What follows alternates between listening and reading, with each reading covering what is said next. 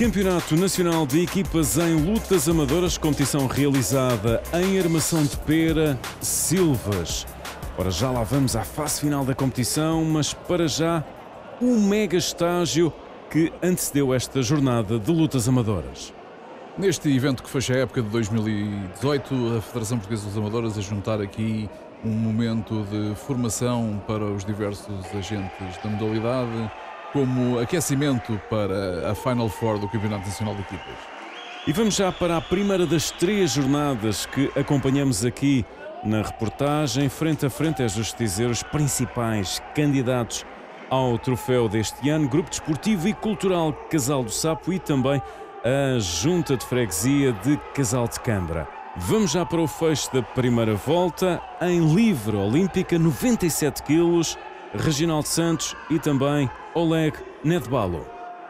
Vemos aqui imagens de, da categoria mais pesada da primeira volta, no estilo de livre olímpica, Casal do Sapo eh, na frente, 4-0 neste momento, e Oleg Nedbalo de azul, eh, com uma vantagem de 5 pontos frente a Reginaldo Santos de vermelho. Lembramos que todos os encontros destas jornadas da Final Four são disputados em cinco categorias de peso. Primeira volta no estilo livre olímpica, onde é permitido atacar e defender com todo o corpo. E a segunda volta, os segundos cinco combates no estilo de luta greco-romana, onde só são permitidas ações de ataque e defesa da cintura para cima. E entretanto, o fecho deste combate, 97 quilos, livre olímpica, com o casal do Sapo a acentuar uh, a sua vantagem, 5-0 neste momento para a formação liderada por Luís Fontes. Depois do estilo livre, agora o estilo greco-romana, estamos já com os 60 quilos. Patrick Veiga e André Silva. E André Silva aqui a executar uma magnífica projeção, a adiantar-se 7-0 no marcador e aqui a conseguir averbar mais um ponto que lhe dá os 8 pontos de diferença e a vitória por superioridade técnica neste primeiro combate da segunda volta. E assim 6-0 neste momento para o Grupo Desportivo e Cultural do Casal do Sapo. Neste encontro, frente à Junta de Freguesia de Casal de Câmara, vamos já para os 67. Aqui, Julinho Ju e Daniel Caldas.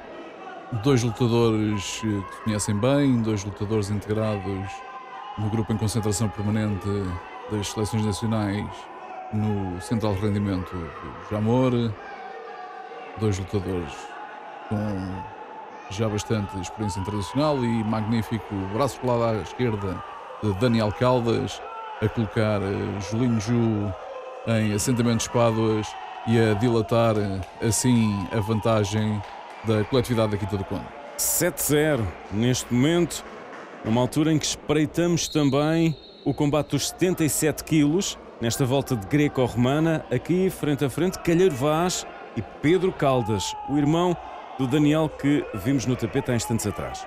E vimos aqui eh, Daniel a ganhar o combate anterior e Pedro aqui a conseguir responder a uma tentativa de tordanche de Calheiro Vaz, com, vejam aqui, com a projeção posterior com controle de cintura, a marcar 4 pontos, a colocar Calheiro Vaz em perigo, a sofrer uma falta. E no chão agora com mais esta cintura russa a conseguir eh, dilatar a vantagem. E aqui uma falta de Guilherme Vaz, mas já para além dos oito pontos de diferença e depois da interrupção do árbitro. E mais uma vitória por superioridade técnica do Casal do Sapo. E assim, 8-0, vantagem mais que dilatada. Neste momento já nada iria tirar a vitória neste encontro ao Grupo Desportivo e Cultural do Casal do Sapo. Espreitamos já os 87 quilos, aqui um confronto internacional entre Yuri Latzik e também Sidus Eslami. Frente a frente, um lutador de origem ucraniana frente a um lutador da Grã-Bretanha, dois lutadores muito experientes, uh, Eslami uh, medalhado nos Jogos da Commonwealth, aqui de azul, Os dois à procura de um melhor controlo. Lutador de vermelho. Pela luta da Junta de Freguesia de de Câmara. Mais especialista neste estilo de grego-romana. Sido Eslami de azul. Um especialista em luta livre olímpica. Mas com fortes credenciais também para a luta greco-romana.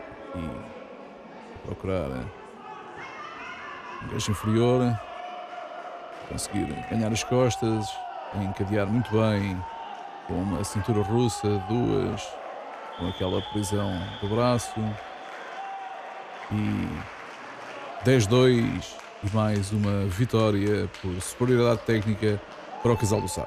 Estamos com 9-0 neste momento no encontro. E vamos então para o fecho da segunda volta e também do encontro com os mais pesados, greco-romana, 97 quilos. Aqui eh, eram chamados ao tapete Luís Varela e também o Miguel Botas.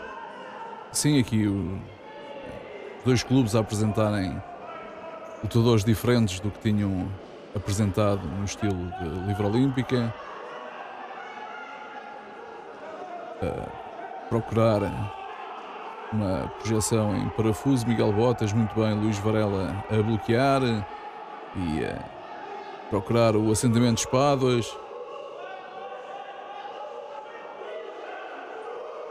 Muito bem, Luís Varela a conseguir com aquele controle de braço e com a prisão da cintura a marcar o ponto de honra para a coletividade de Casal de Câmara. 9-1, o resultado neste encontro, vantagem para o Grupo Desportivo e Cultural do Casal do SAP. Vamos escutar os treinadores. Sim, foi fácil, eh, tenho uma equipa bem preparada, fizemos uma montámos muito bem a equipa, fizemos subir o atleta de 87 para 97 e podíamos ter dado 10 0 pus um atleta com menos potencial a rolar para poupar para a equipa para o, para o próximo encontro. Praticamente o pleno, evidenciando uma grande diferença de valores? Sim, seguramente. Também tenho uma equipa que faz parte, grande parte dela faz parte dos trabalhos regulares da seleção e tenho outros atletas que complementam e sim, podíamos, podíamos ter dado o 10 fácil. Uh, um, com o casal de sapo, uh, os nossos atletas, uh, como tivemos alguma dificuldade com atletas que faltaram, tivemos de, de remediar, na, mexer na equipa e remediar a situação mas correu bem, até tiver, tiveram uma boa prestação, embora eu ansiasse melhor resultado.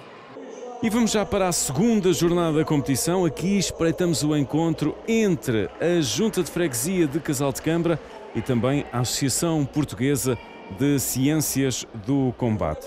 Primeira volta no estilo livre olímpica e na reportagem Vamos já para o combate dos 77 quilos, quando a Junta de Freguesia de Casal de Câmara já estava a vencer o encontro por 2-0. Nos 77 eram chamados ao tapete Calheiro Vaz e Sérgio Júnior. Dois lutadores com perfil semelhante, muito longilíneos, com estilo de luta que se adapta à sua morfologia. Vemos aqui uma entrada às pernas com varrimento de Calheiro Vaz, a conseguir surpreender eh, Sérgio Júnior, 6-2 no marcador, aqui uma tentativa de braço de lado, Calheiro Vaz bloqueada por Sérgio Júnior, que combina um bloqueio das pernas para ganhar as costas e a tentar e a conseguir uma cintura russa para a direita. Sérgio Júnior a responder e a bloquear. Muito bem, Sérgio Júnior a bloquear Calheiro Vaz neste parafuso, a ganhar as costas. Aqui a tentar dar uma Nelson. Árbitro internacional do Frederico Bastos interromper. 12-5 vantagem para Calheiro Vaz sobre Sérgio Júnior. Os lutadores procuram melhor controle e de novo uma ação técnica muito semelhante à primeira que vimos aqui. Calheiro Vaz, entrada à perna por fora com varrimento a averbar os quatro pontos que lhe faltavam para uma vitória por superioridade técnica. E assim 3-0 para a Junta de Freguesia de Casal de Câmara. Ainda a volta de livre olímpica, vamos já para os 87 quilos com o Yuri Latzik a representar o Casal de Câmara e o José Correia a representar a APCC. E vemos aqui os dois lutadores em posição de meia cintura, Yuri Latsky a conseguir ganhar as costas, a tentar agora encadear com a cintura russa para a direita, a conseguir expor as costas do lutador da APCC.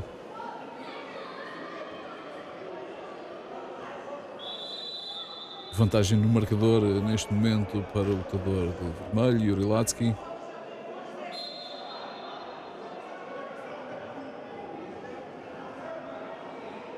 Dois lutadores à procura de um controle clássico. A combinar para controle do braço de fora, Yuri Latsky tentar eh, procurar e muito bem executar uma magnífica forquilha livre a tentar eh, o assentamento de espadas a colocar eh, o dor de azul em alguma dificuldade conseguir esta variante italiana voltar a colocá-lo em perigo a averbar mais dois pontos e a tentar o assentamento de espadas Manuel Pedro, árbitro internacional, a assinalar e bem. Uma falta o controle. Irlatsky. Neste momento, 10 pontos de diferença atingidos e mais uma vitória por superioridade técnica para Casal de Câmara. E avançamos já para a volta de greco-romana. Estamos já com o resumo dos 67 quilos numa altura em que a Junta de Freguesia de Casal de Câmara venceu o encontro por 6-0. Aqui, Julinho Ju defronta Fábio Carrilho. E aqui uma tentativa falhada de cintura de frente de Julinho Ju, muito bem bloqueada por eh, Fábio Carrilho, que aproveita para marcar dois pontos com essa ação.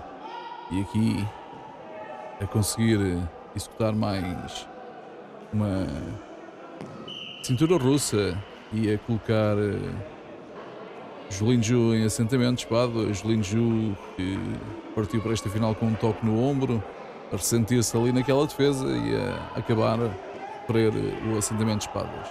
Excelente braço rolado que vimos já aqui na imagem na categoria seguinte, uh, nos 77 quilos, Serginho, Sérgio Júnior conseguir Vejam aqui em repetição, executar um excelente braço rolado, a projetar Calheiro Vaz, ganhar 4 pontos. 4-0. Lembramos que na volta de livre, Calheiro Vaz vermelho ganhou. E aqui, muito bem, Sérgio Júnior a conseguir nova execução técnica que lhe permite manter-se na frente 6-5 neste combate.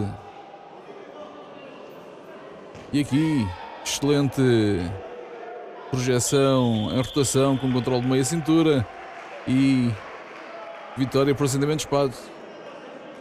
E vejam, excelente execução técnica de Sérgio Júnior a conseguir a segunda vitória para a APCC, a segunda por assentamento de espadas. E 6-2 o resultado neste momento e espreitamos mais um dos combates deste encontro. 87 quilos, greco-romana, Yuri Latsky e também José Correia. E aqui Yuri Latsky a conseguir eh, ganhar um controle de cintura, conseguir derrubar José Correia, ganhar as costas, eh, muito bem encadear com uma cintura russa. E a segunda, José Correia procurou bloquear, mas não conseguiu. Com a primeira ação técnica de 4 pontos e as duas cinturas russas de 2 pontos, a somar 8-0 e uma vitória por superioridade técnica para Yuri Latsky. E no encontro seguinte, nova vitória para o casal de Câmara, 8-2 o resultado final.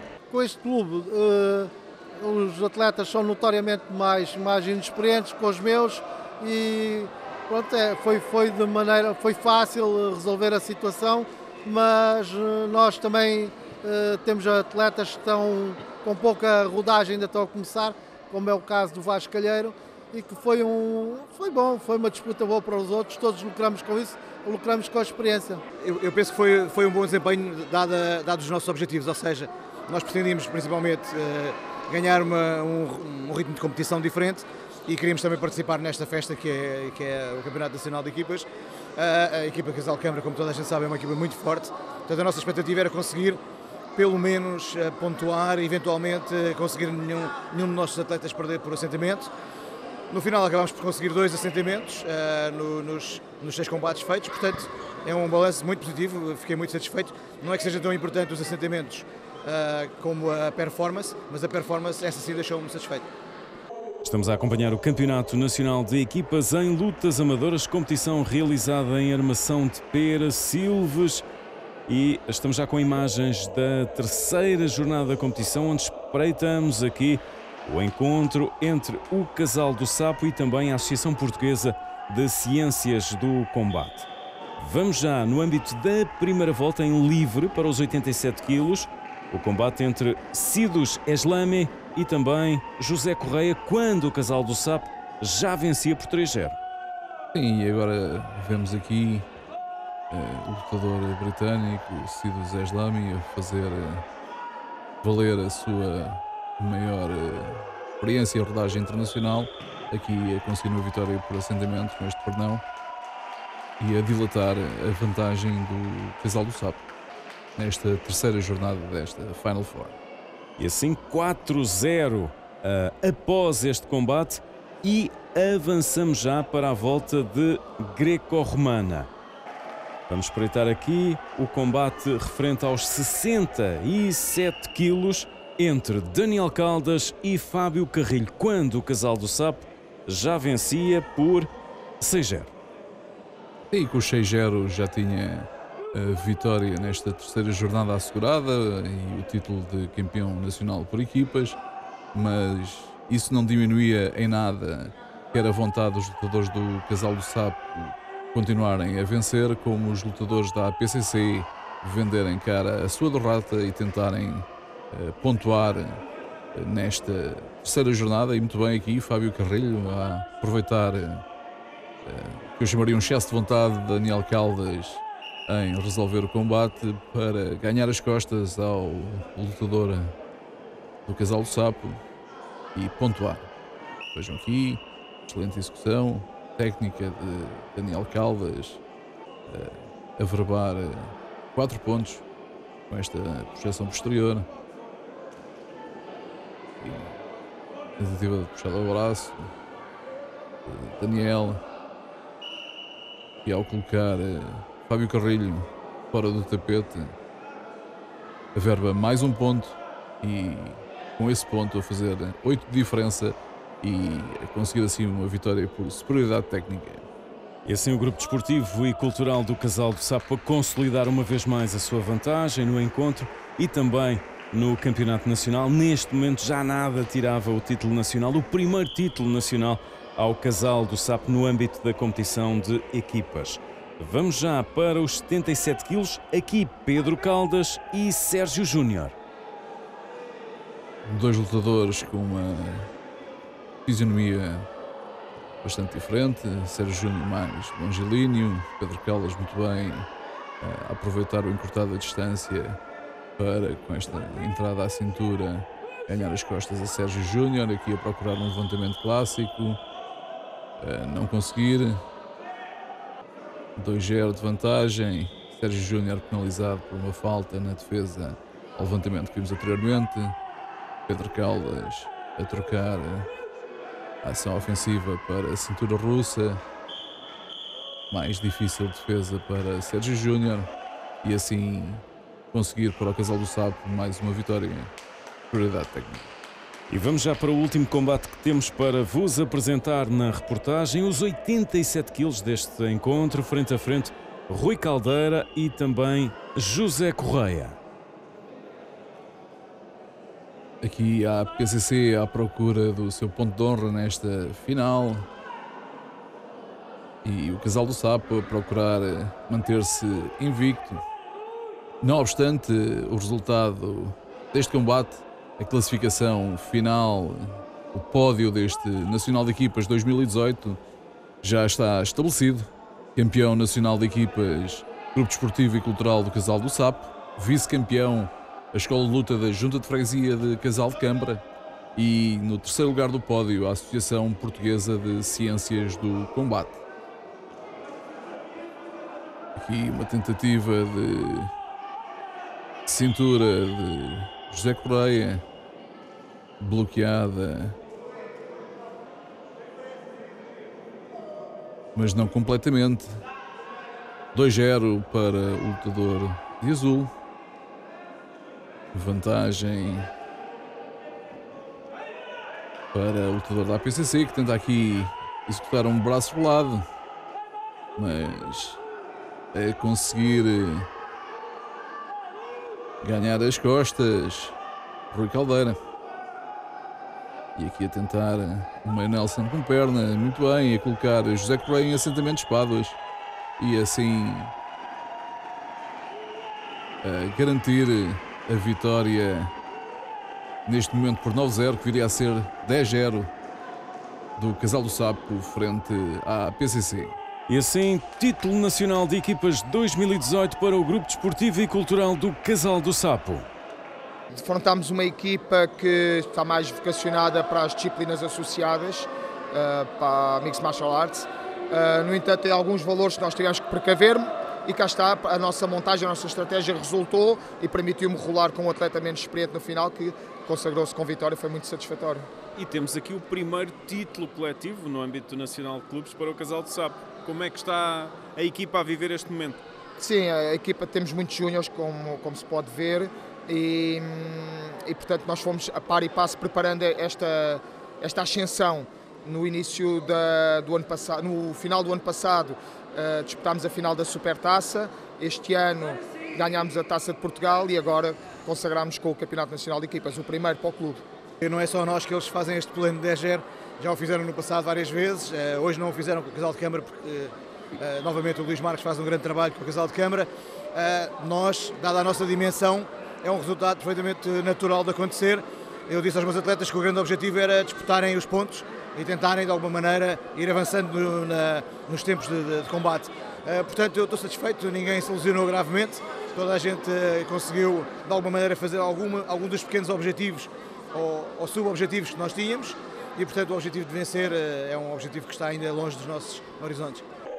E vamos caminhando para o fecho de reportagem, a oportunidade para escutarmos aqui José Piasca, o presidente da Casa do Povo de São Bartolomeu de Messines, o clube anfitrião da competição. Eu estou a ver o desenvolvimento da modalidade no Algarve agora com uma maior frescura do que já, já houve nos tempos recentes. Penso que hum, a Federação está a apostar nesta região, eh, o que para nós, enquanto Casa do Povo, que temos uma vasta tradição nas lutas amadoras uh, e grego-romanas e, portanto, estamos confiantes de que São Bartolomeu de Messinos, através da Casa do Povo, poderá ser uh, o centro do Algarve nesta, nesta modalidade, que para nós, obviamente, é sempre muito importante. E assim foi a reportagem do Campeonato Nacional de Equipas em Lutas Amadoras, título nacional para o Grupo Desportivo e Cultural do Casal do Sapo.